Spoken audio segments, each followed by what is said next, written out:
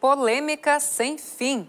Um projeto de lei da vereadora Mônica Leal, do PP, quer devolver o nome de Castelo Branco à atual Avenida da Legalidade e da Democracia, que fica na entrada de Porto Alegre.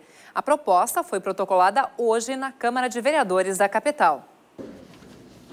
Depois de ingressar com duas ações na Justiça, Mônica Leal decidiu entrar com o pedido na própria Casa Legislativa para revogar a lei que alterou o nome da principal via de acesso a Porto Alegre. A vereadora argumenta que já existe no centro da capital um local com o mesmo nome, o Largo da Legalidade. Além disso, afirma que um estudo encomendado por ela apontou falhas no processo legislativo que levou à mudança. E ali ficou, ficaram apontadas umas irregularidades do processo legislativo, ou seja, número de vereadores para votar. Numa alteração é necessário 24 vereadores, ali tinham 21. A consulta dos moradores, tá?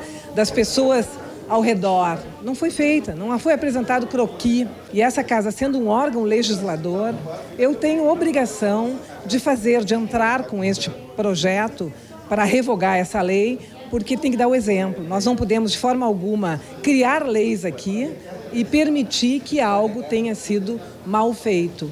Aprovada em 2014, a lei que denominou a avenida em homenagem ao movimento da legalidade, liderado por Leonel Brizola em 1961, é de autoria de Pedro Ruas e de Fernanda Melchiona, ambos do PSOL. Melchiona classifica o projeto de Mônica Leal como um retrocesso. É um desrespeito com uma discussão soberana que já foi feita, que já foi votada, que já foi aprovada, que já vigora e que infelizmente quer voltar a homenagear quem cometeu crimes contra a humanidade, como o ditador Castelo Branco. Pelas ruas da capital, o assunto gera nova polêmica. Não é mudando o nome que tu vai esquecer a história.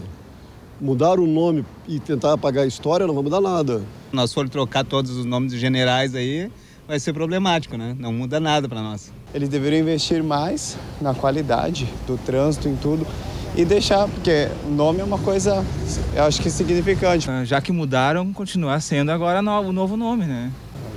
Podiam gastar o tempo do, que eles têm lá com algo mais útil para a população.